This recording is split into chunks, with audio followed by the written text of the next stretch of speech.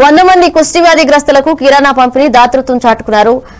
వెన్నా ప్రసాద్ ఏ దిక్కు లేని వారికి భగవంతుడు అంటారు. అదేవిధంగా కుష్టి వ్యాధిగ్రస్తులు కారణాలు బాధపడుతున్న వారికి వారి ఇబ్బందులు గుర్తించి కిరాణా పంపిణీ చేసి ఘనత ప్రసాద్కి దక్కిందన్నారు. సర్పవరంలో గల Jesus grace ministries father Venna Prasad సుమారు వంద మంది పేదలకు కిరాణా వస్తువులు పంపిణీ చేసి తన దాతృత్వాన్ని చాటుకున్నారు.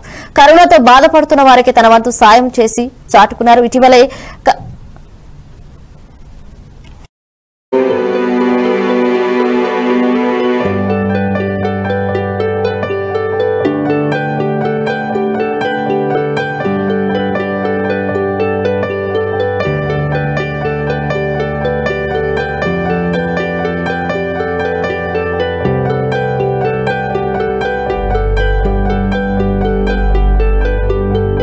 అందరికీ నమస్కారం అండి.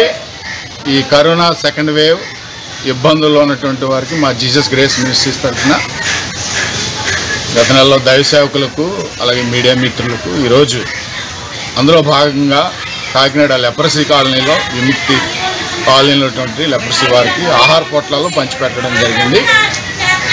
మరి సెకండ్ వేవ్ చాలా ఇబ్బందుల్లో ప్రజలు ఉన్నారు మరి దేవుడు ఈ యొక్క ఈ యొక్క కరోనాని వైరస్ని తగ్గించాలని మేము అందరం కూడా ప్రార్థన చేస్తున్నాము. తిరిగి దేవుడు శాంతి సమాధానాలు నెమ్మదిచ్చి మళ్ళీ యథావిధిగా ప్రజలందరూ మనుగడ సాగించడానికి ముందుకు వెళ్ళాలని మేము ప్రార్థన చేస్తా ఉన్నాము మరి ప్రభు అందరికీ శాంతి సమాధానాలు ఇచ్చి నడిపించాలని మేము కోరుతా ఉన్నాం.